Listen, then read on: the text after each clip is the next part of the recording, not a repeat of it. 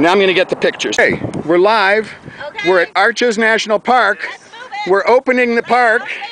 We're here with Kokopelli and Coney and some good friends.